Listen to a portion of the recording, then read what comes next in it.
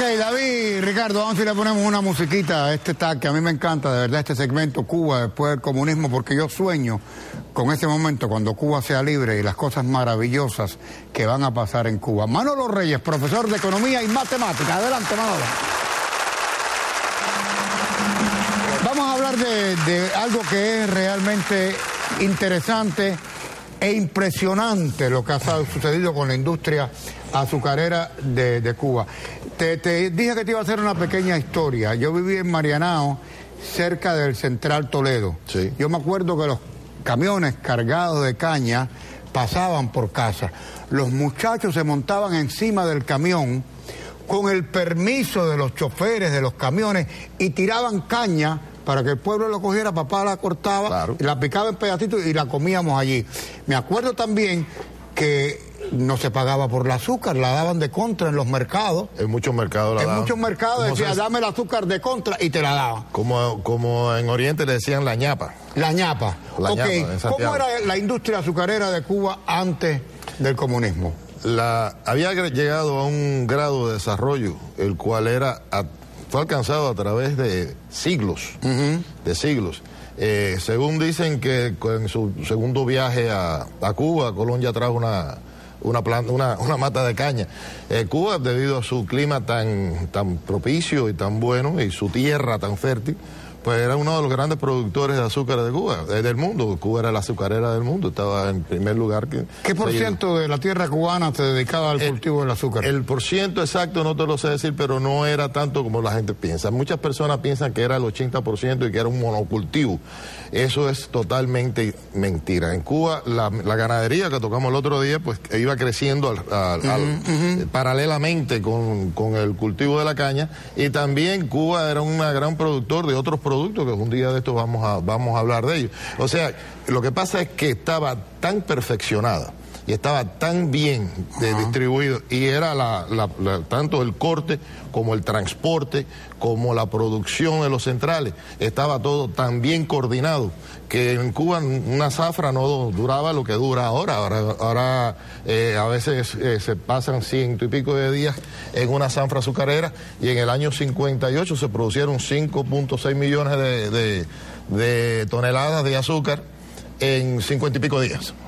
O sea, era una perfección total lo que había en, la zafra azucarera. E-, era muy importante que hubieran macheteros que supieran cortar la caña, me imagino. Sí, eso era importante. Eh, siempre se habló mucho de la mecanización del corte, pero los macheteros, todo el mundo piensa que era el cubano que lo cortaba. En Cuba se traían jamaiquinos y haitianos. Exacto. Para que cortaran la caña, cortaban la caña y después eh, regresaban a su país. Ahora, cuando el gobierno eh, cometió el error garrafal ese de poner a los estudiantes, a los doctores, a todo el mundo a cortar caña. fue un desastre, ¿por qué? Fue un desastre, mira, el problema es que mm. nosotros tenemos que ver de cómo era que era el proceso de la producción de azúcar en Cuba. Mm. En Cuba se producía, eh, eh, era muy bien analizado muy bien analizado el proceso. En Cuba había personas que estaban siempre al tanto mm. de cómo es que estaba el mercado. En Cuba se, se muchas veces el, se reducía el, la zafra azucarera de acuerdo o como iba estaba el precio. Se trataba por todos los medios de limitarla para no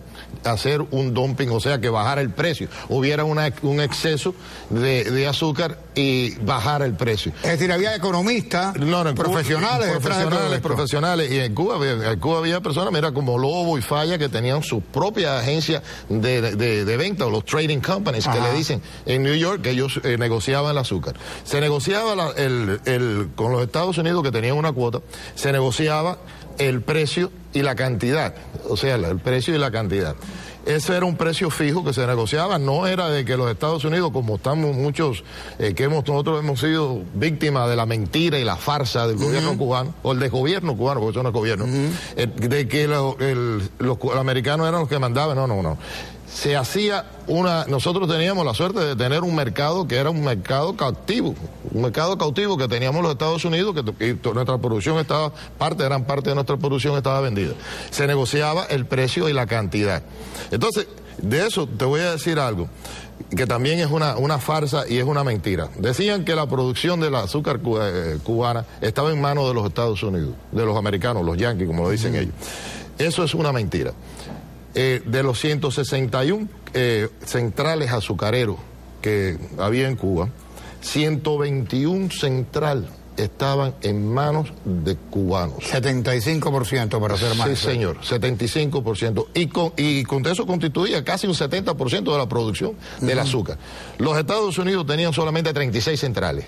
Había, eh, los españoles tenían creo que cuatro y un francés que eso, tenía un central. O sea, la producción del azúcar cubana estaba en manos de los cubanos estaba en manos de los cubanos. Y los cubanos la cuidaban, eh, eran muy celosos con su producción Claro. y eran muy celosos con, con el precio sobre todo. Ahora, aquella famosa época cuando el dictador dijo que iba a producir 10 millones de toneladas de azúcar.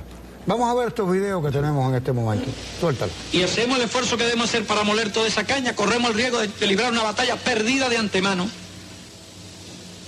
Es decir, se debe librar una batalla manteniendo todas las seguridades del principio hasta el final para, para asegurar el éxito. Si se olvidan los rendimientos, entonces estamos expuestos a cortar toda la caña que tenemos, que puede dar más de 10 millones, y sin embargo quedarnos en 30 o 40 mil toneladas por debajo de los 10 millones. Y que aquí se ha dicho que ni una libra menos de los 10 millones. Ese es el problema.